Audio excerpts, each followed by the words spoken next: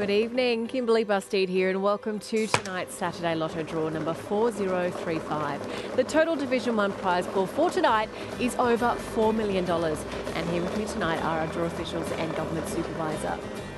To win tonight's Division 1 prize, your six numbers need to match the six winning numbers in tonight's draw. And the first number has been drawn. That number is number 10. And the next number that you will need this evening is number 27.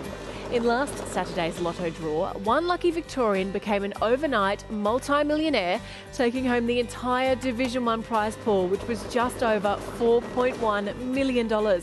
Congratulations to that lucky winner. Well, tonight you'll also need number 19 and you'll need number 33.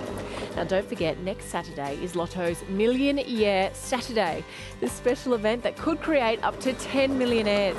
Tonight you'll also need number 31 and of course the next winning number down the chute, number 26. So let's take a moment to recap tonight's winning numbers 10, 27, 19, 33, 31, 26, and of course our supplementary numbers for tonight, number 9, and to round us out on this Saturday evening, number 43.